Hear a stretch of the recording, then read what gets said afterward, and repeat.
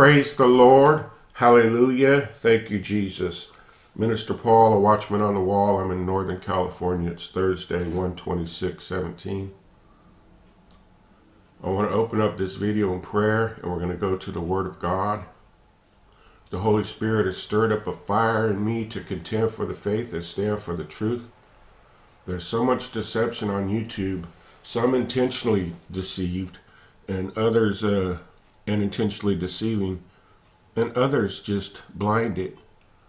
And so, speaking the truth in love, I want to bring forth the Word of God to for correction in love, humbly. Uh, you know what's been stirred up inside me from from the, the kingdom of heaven is to get on here and tell the truth.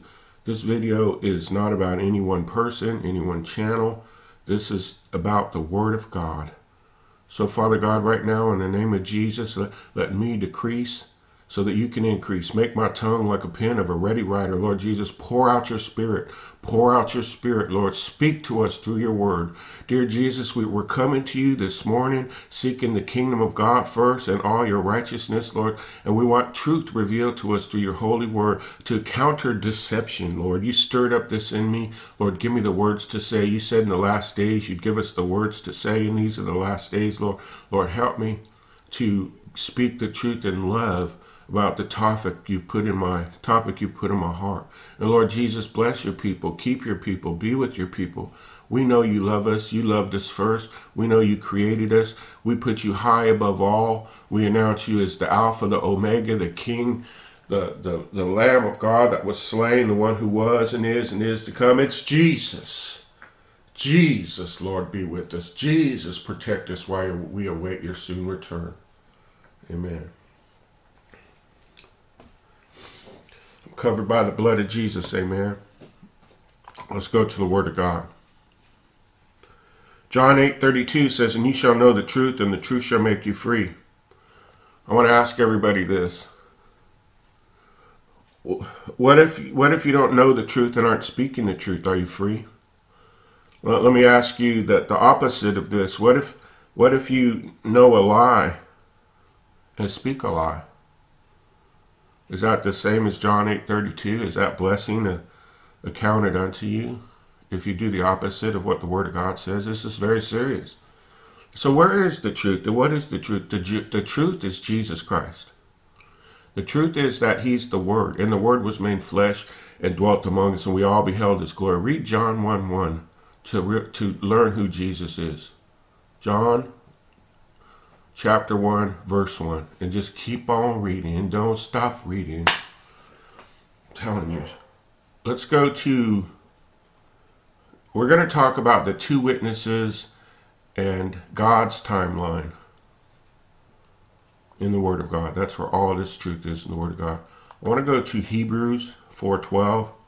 It says, For the Word of God is quick and powerful and sharper than any two-edged sword, piercing even to the dividing of sunder of soul and spirit, and of the joints and marrow, and is a discerner of the thoughts and intents of the heart. So, what is the intentions of our heart today? While we make videos and comment on videos and encourage each other, as we go from channel and and uh, you know to to make it all about Jesus and correct people or love people or pray for people or commune with people, fellowship with people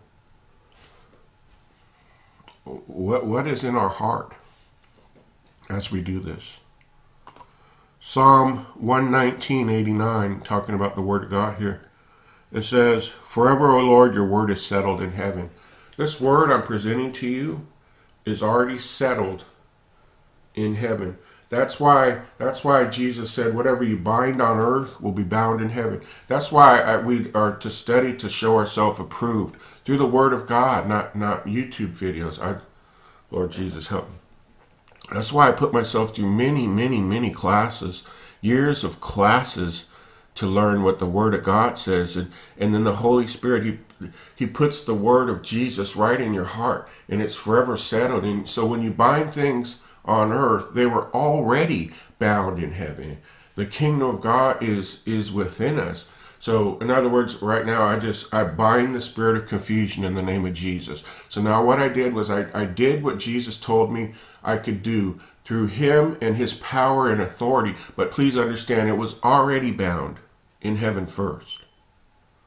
The keys to binding and loosing, amen. So, so what we're going to talk about in this holy, divine logos, the, the written word of God that's alive and powerful and, and cuts us right, you know, right through us to get to our intentions of why we're on here speaking. It's already settled in heaven. So what's settled? Let's go see. Talking about the two witnesses.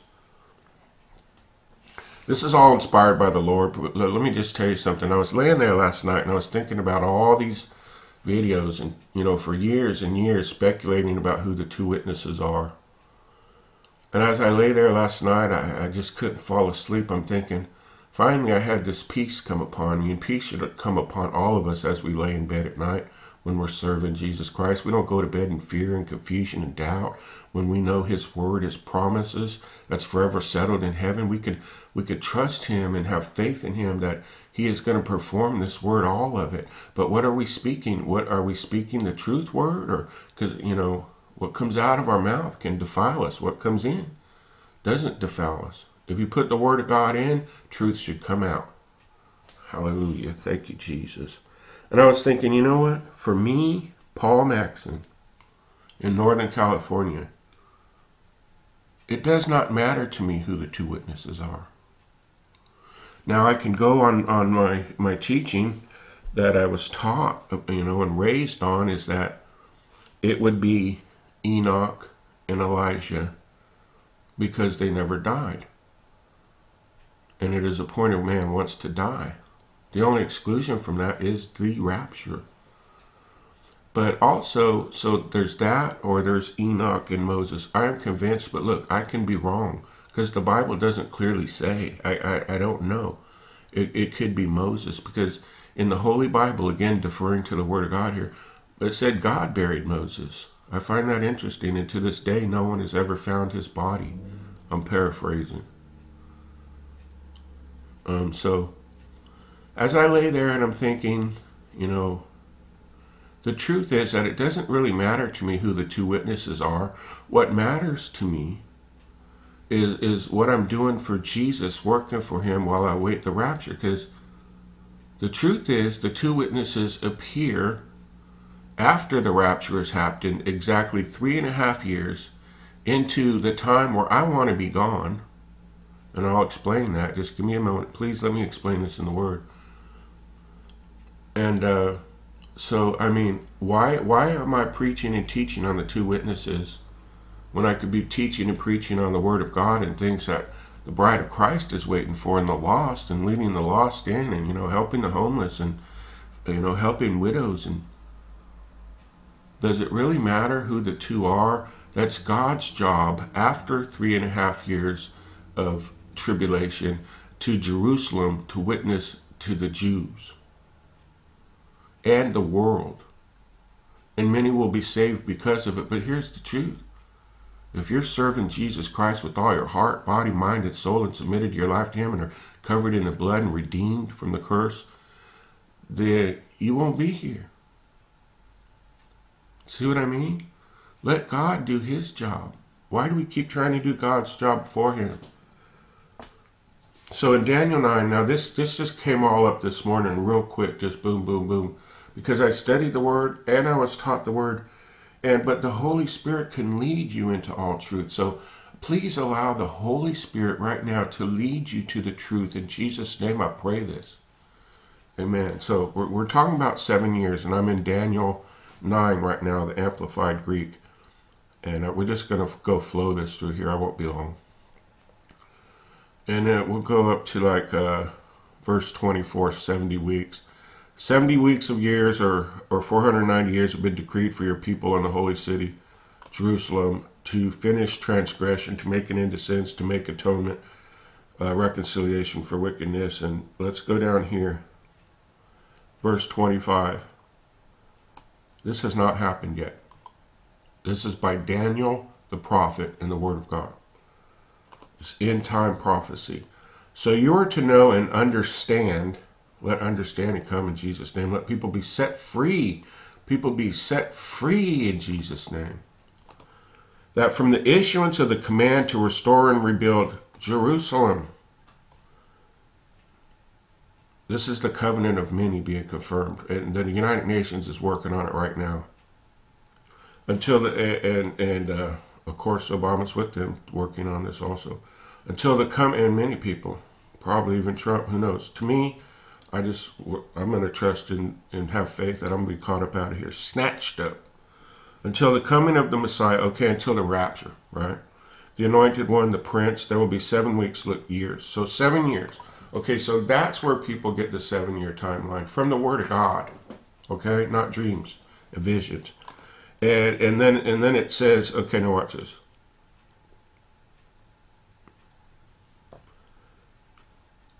In 62 weeks of years, it would be built again. So we're talking about we're talking about the temple in in the the mount, the, the temple in the mount in Jerusalem. It's in Jerusalem. It's not in Ohio. It's not in Northern California. I can't find it. Never been to Israel. I, I say it's in Israel, in Jerusalem, because the Bible says that. The Bible says that that Israel is the apple of God's eye. The Bible, it, Jesus went down to Jerusalem. I mean, let's continue. Thank you, Jesus. Okay, so the temple's going to be rebuilt again. This hasn't happened yet, and they haven't stopped the offerings in Jerusalem and changed the this. It hasn't happened yet, and I'm going to prove it here.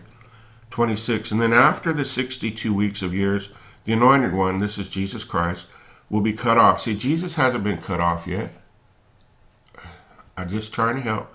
And denied his messianic kingdom, and have nothing and no one to defend him. And the people of the other prince who is to come, this Antichrist, will destroy the city and the sanctuary. This hasn't happened yet. Its end will come with the flood. Even till the end, there will be war. Desolations are determined. So, in other words, there's a seven year timeline of tribulation. The first three and a half years are tribulation.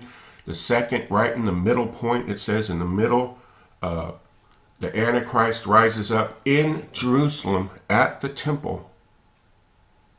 Please hear me now and and then everything changes. We start going into the seals and the trumpets and the bowls. Exactly three and a half years into it. So what right now, what those people that know the Word of God are waiting for is for the covenant of many to be confirmed. But see, Jesus Christ, He could come at any minute. There's nothing that has to happen anymore in the Word of God for Jesus to return. But once that covenant of many is confirmed, that Daniel's talking about here.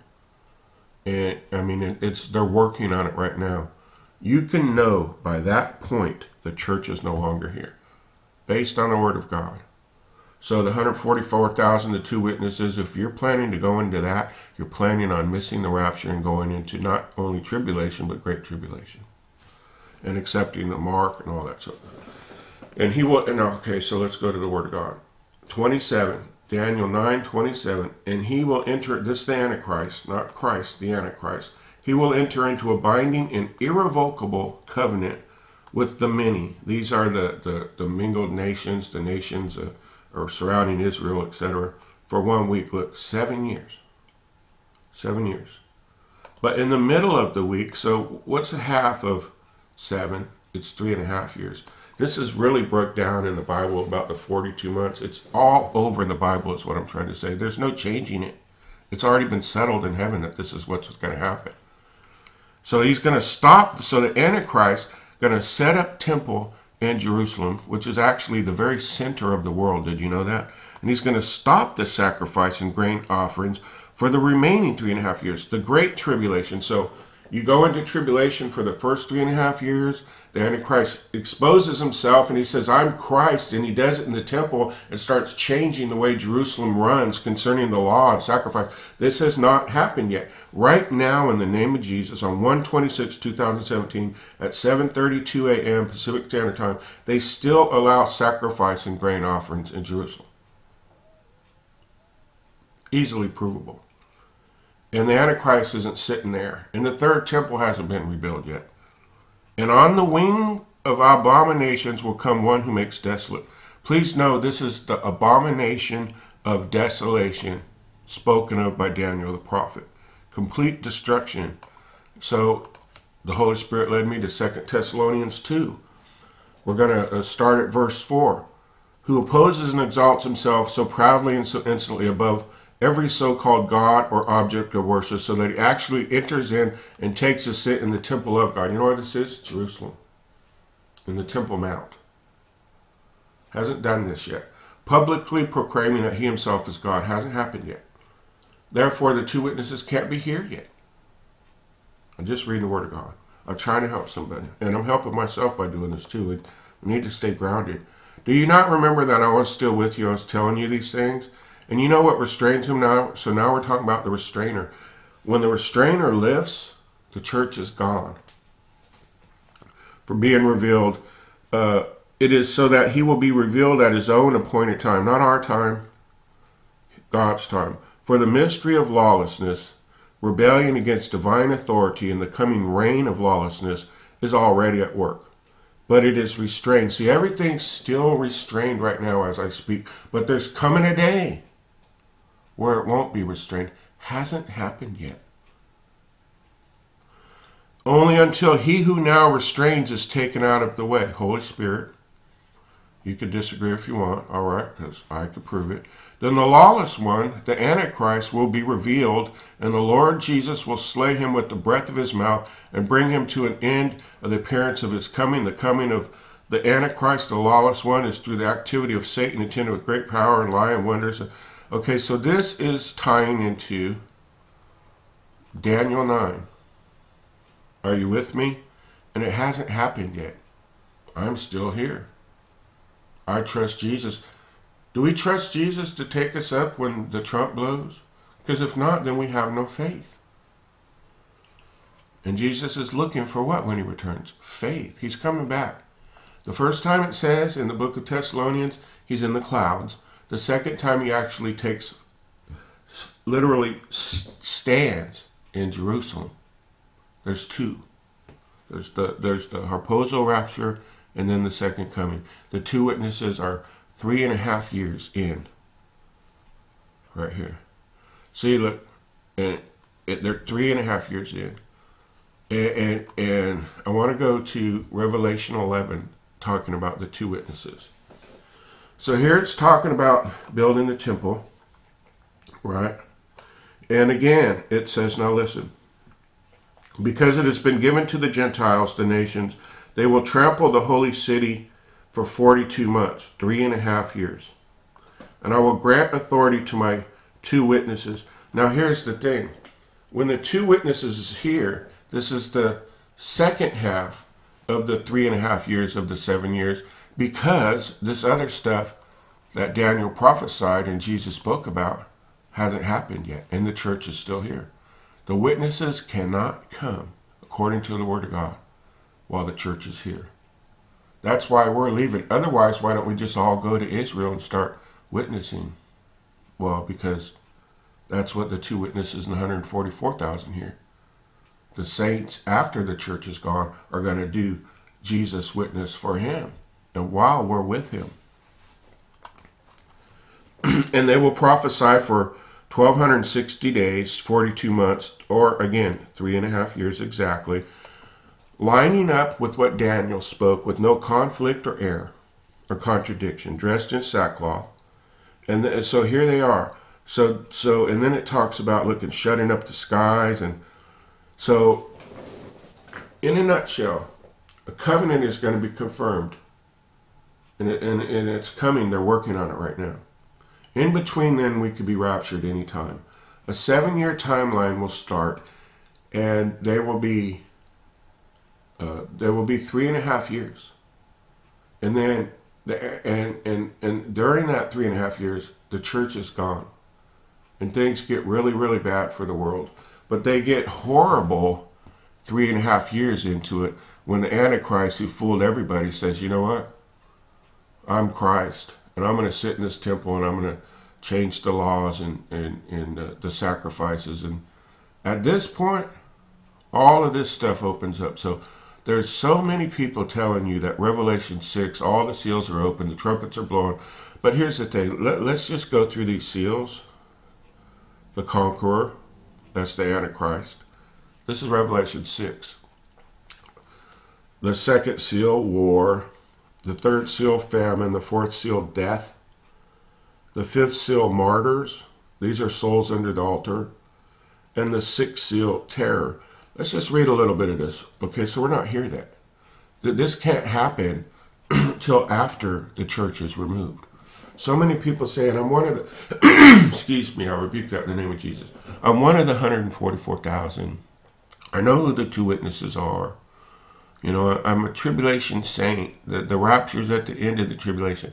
But see, it doesn't line up with the Word of God. And we got to stick to this because it's already settled in heaven and our future depends on it. So it says, I, I looked when he, the Lamb, broke open the sixth seal, and there was a great earthquake. Hasn't happened yet. And the sun became black as sackcloth made of hair. Hasn't happened yet. The moon became blood, and the stars of the sky fell from earth. Hasn't happened yet. Now, now let's go down here, and I've spoke on this many times. The kings of the earth and the great men and the military commanders and the wealthy and the strong and everyone, whether slave or free. Let me tell you something. Right now, we have a, a billionaire running the United States in the highest position there is. He's not hiding in a cave saying, Mountain, please fall down on me. Therefore, it hasn't happened yet. And people are teaching this that we're already in this. They hid themselves in the caves of the rocks, and they called upon the mountains, Rocks, fall on us and hide us from the face of him who sits on the throne. You know why they're hiding? Because the Antichrist is in power, and there's no turning back, and, and the, the Holy Spirit is no longer here. The restrainer has stopped restraining, and they're in the thick of it and from the, ratchet, the righteous wrath and indignation of the Lamb. For the great day of their wrath and vengeance and retribution has come, and who is able to face God and stand before the wrath of the Lamb? There's, it's impossible for be, us to be in the wrath of God because we are we are the church. We are the church. That's why the the book of Revelation, if you truly reveal uh, read it, Jesus Christ reveals through the spirit of prophecy who He is and what's going to come in the seven churches in verse 2 and 3, and he, he commands them all with warnings to repent and tells you exactly why. And then in verse 4, he says, Come up hither, and now the church is gone. And it's not anywhere mentioned in the, in the rest of the chapters anymore because the bride isn't here. If you hear someone saying that the two witnesses are here, or, you know, they're there, or they're the one in 144,000, I'm just telling you with all my heart, and this is not against anybody. This is about this knowing the truth and being set free. Is that we are not here.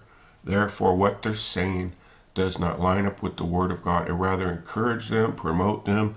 You know, they should be corrected. Simple as that. Because you can't be set free from lies. And God is looking at your heart right now and what its intentions are. He wants us all to go to heaven, and so do I.